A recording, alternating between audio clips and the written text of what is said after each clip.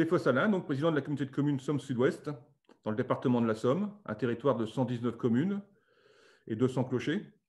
Donc 900 km, un territoire extrêmement agricole, de grands espaces, avec de, l'agriculture qui est également qui est, facteur de développement économique, que l'on peut améliorer, certaines sans aucun doute, mais également sur nos têtes des éoliennes qui tournent, qui tournent parfois, qui parfois s'arrêtent parce que le, réseau électrique, électrique ne, ne, peut plus absorber cette énergie électrique.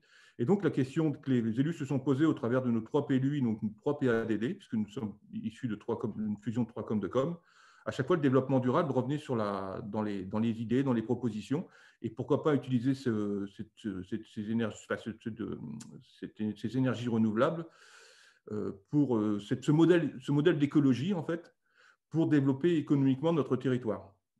Alors, les élus sont très favorables au développement économique, ils sont favorables à l'écologie, mais très, ne sont pas pour l'écologie punitive.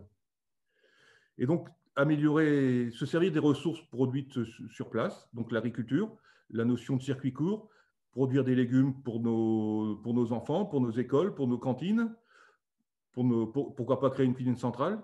Mais ces éoliennes qui tournent au-dessus de nos têtes, pourquoi pas transformer cette énergie électrique qui parfois tourne dans le vide, en fait, qui, qui, euh, cette, énergie électrique pour fabriquer de l'hydrogène.